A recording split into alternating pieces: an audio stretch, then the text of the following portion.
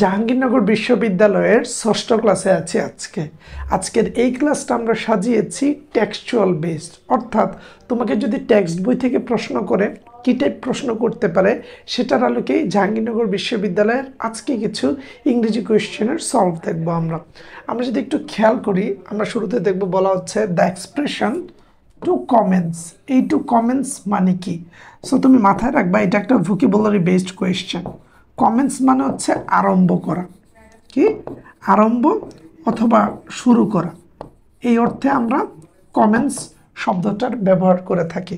তাহলে এর সঠিক এক্সপ্রেশন কি হবে? টু স্টার্ট কি হবে? টু স্টার্ট অর্থাৎ কোনো কিছু শুরু করার ক্ষেত্রে আমরা কমেন্টস কথাটাকে ব্যবহার করে থাকি। টু কমেন্টস মানে টু স্টার্ট কোনো কিছু আরম্ভ বা শুরু করা। তারপরে দেখো, বলা হচ্ছে make an appropriate question from this statement বলা হচ্ছে the class will begin at eight thirty A M class আটটা ত্রিশে শুরু হবে। এইটাকে একটা কোয়েশ্চেন বানাও। তো এখানে বলা হচ্ছে when will the class held এখানে দেখো কোয়েশ্চেন মার্ক নাই, তার মানে এটা হবে না।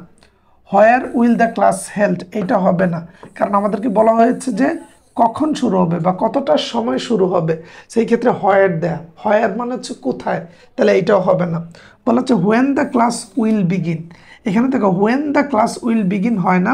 কারণ হোয়েনের পরে হচ্ছে তুমি এই টাইপের দ্য ক্লাস ব্যবহার করতে পারো না। তোমাকে একটা অক্সিলারি ফার বানতে হবে। এই ক্ষেত্রে আমাদের ডি নাম্বারটা perfect at what time will the class begin কোন সময় ক্লাসটা শুরু হবে? At what time will the class begin যেহেতু উইলটা আমাদের অক্সিলারি ভার্ভ, এটা সামনে আনব কোয়েশ্চেন করার ক্ষেত্রে। এবং যেহেতু এখানে সময়ের কথাটা উল্লেখ আছে, তাই আমরা বলব at what time will the class begin অর্থাৎ একটা প্রশ্নকে কীভাবে কোয়েশ্চেন করতে হয়, সেটা থেকেও কিন্তু তোমাকে জাহাঙ্গীরনগর বিশ্ববিদ্যালয়ে প্রশ্ন দিয়ে যাচ করতে পারে। সো এই ক্ষেত্রে একটু সজাগ, সচেতন থাকা আমার মনে হয় বুদ্ধিমানের কাজ। তারপরে দেখো, বলা হচ্ছে choose the correct spelling from the following তার মানে জাহাঙ্গীরনগর বিশ্ববিদ্যালয়ের জন্য তোমাকে কিন্তু স্পেলিংটি একটু মনোযোগ দিয়ে দেখতে হবে। এবং এই জায়গায় সঠিক উত্তর হচ্ছে এই যে অ্যান্টিজেন এই অ্যান্টিজেনটা হচ্ছে সঠিক উত্তর। অর্থাৎ অ্যান্টিজেন সহ থেকে মানে অ্যান্টিজেন থেকে শুরু করে যত ধরনের স্পেলিং আছে, তুমি তোমার অ্যাডমিশনের বই থেকে স্পেলিং অংশে বিগত বছরে আসা সকল স্পেলিং প্র্যাকটিস করলে আমার মনে হয় কমন পড়ে যাবে। তারপরে দেখো, বলা হচ্ছে the peace movement tends to oppose the dash of dangerous technologies and weapon mass destruction তো এইখানে সঠিক উত্তরটা হবে প্রলিফারেশন আবার দেখো দা এবং অব এর মধ্যে নাউন বসে। এটা তো তোমরা জানো যে দা অর্থাৎ আর্টিকেল এবং প্রিপোজিশন অব এর মধ্যে সবসময় নাউন বসে। সেখানে আমাদের চারটা অপশনই নাউন কেন? কারণ এদের সাথে এটা ছাড়া চারটা অপশনই নাউন কারণ আমরা জানি কোনো ওয়ার্ডের শেষে সন সাফিক্স থাকলে সেটা নাউন হয়ে থাকে।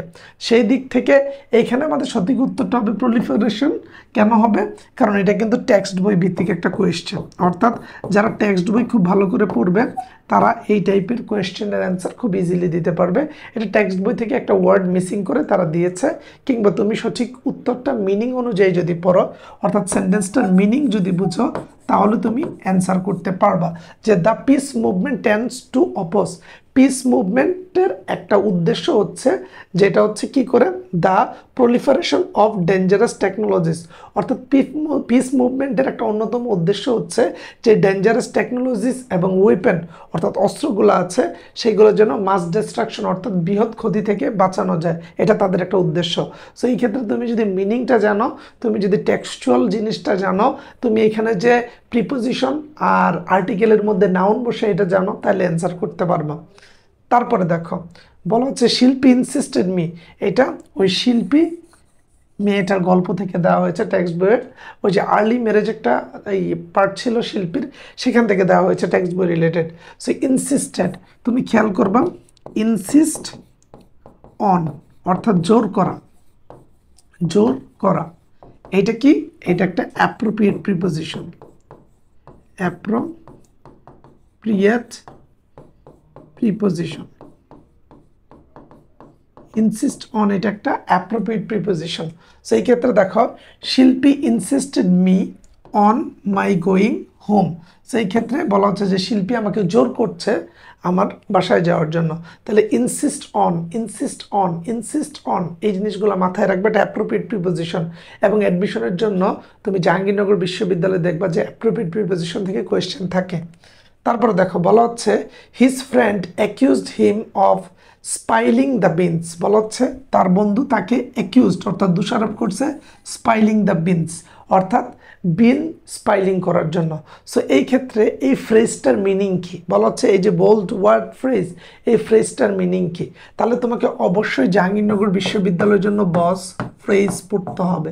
ফ্রেজ পড়া ছাড়া ভালো করা টাফ সো এই যে স্পাইলিং দ্য বিনস এর মানে হচ্ছে গোপন তথ্য ফাঁস করে দেয়া। বলা হচ্ছে হিজ ফ্রেন্ড অ্যাকিউজড হিম তার বন্ধু তারা দোষ দিচ্ছে অফ স্পেলিং দ্য বিনস যে বন্ধু আমার হচ্ছে গোপন তথ্য ফাঁস করে দিছে, তারা দোষারোপ করছে।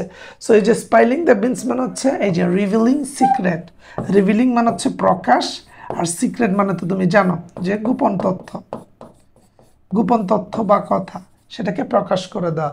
তার মানে এই জিনিসগুলো যখন বুঝে বুঝে অ্যাপ্রোপ্রিয়েট প্রিপোজিশন কি ফ্রেজ কি থেকে পড়ব গ্রামারগুলো কোন জায়গা থেকে দিবে গ্রামার কোন স্ট্রাকচার অনুযায়ী পড়েছে মিনিংটা কি টেক্সট বই থেকে কীভাবে দিল, এই জিনিসগুলো জানলে তোমার জন্য কিন্তু ইজি হবে। এছাড়াও আমরা তোমাদেরকে আমাদের জাহাঙ্গীরনগর ব্যাচে কিন্তু এই টপিকগুলো ধরে ধরে বোঝাচ্ছি।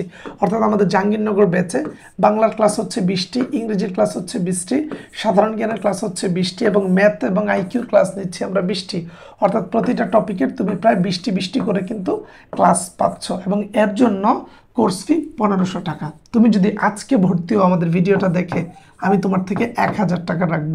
যেহেতু চাঙ্গিনগর বিশ্ববিদ্যালয়ের ভর্তি পরীক্ষার বেশি দিন আর বাকি নেই প্রেশার না নিয়ে তুমি আমাদের এই দুইটা নাম্বারে কল দিতে পারো, অথবা আমাদের এই ফেসবুক পেজে এস এম এস করলে তোমাকে বিস্তারিত বলে দেওয়া হবে এই ব্যাচে কি কি করা হবে।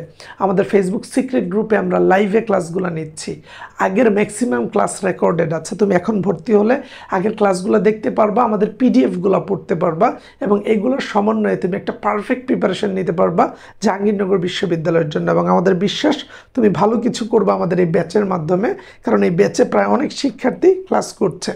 এছাড়াও আমরা যদি পরের কোয়েশ্চেনটা দেখি, বলা হচ্ছে poetry in every language celebrate beauty and truth বলা হচ্ছে পোয়েট্রি কবিতা ইন এভরি ল্যাঙ্গুয়েজ প্রত্যেকটা ভাষায় সেলিব্রেট বা উদযাপন করা হয় কিসের মতো?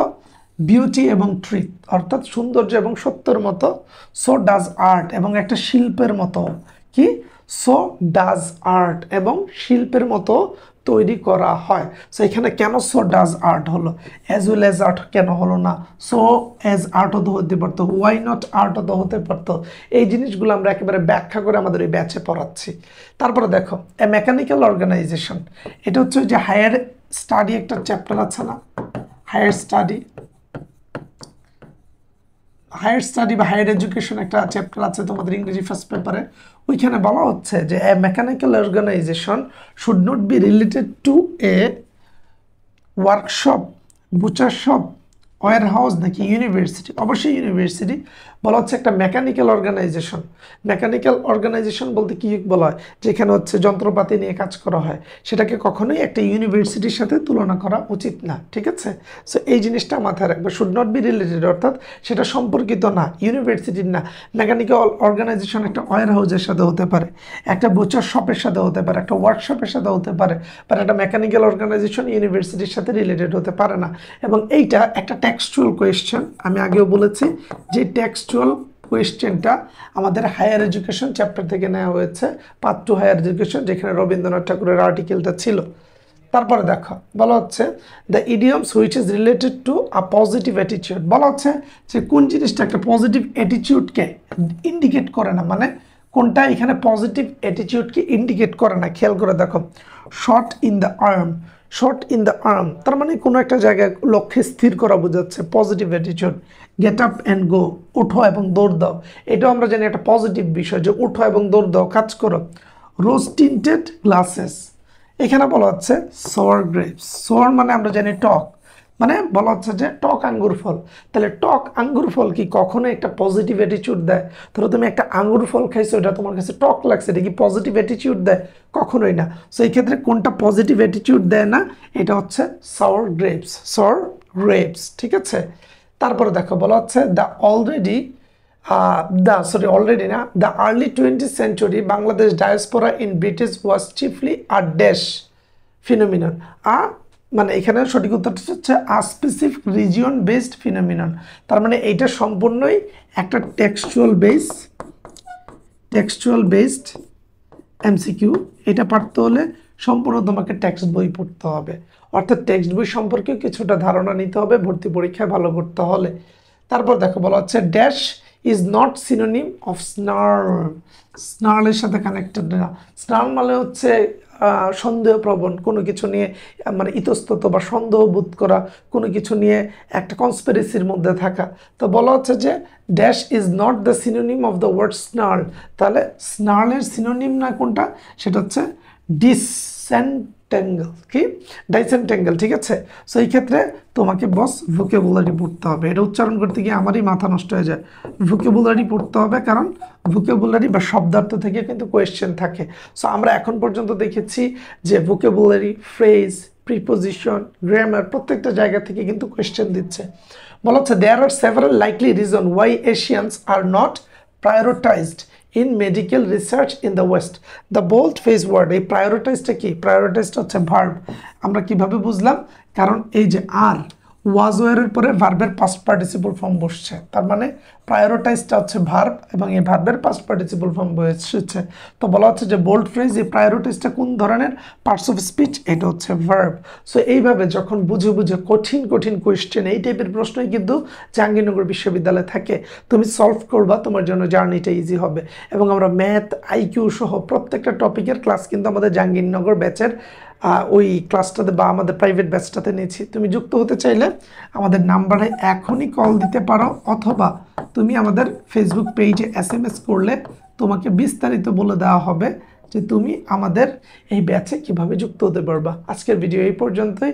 পরবর্তীতে আবার দেখা হচ্ছে। টিল দেন আসসালামু আলাইকুম।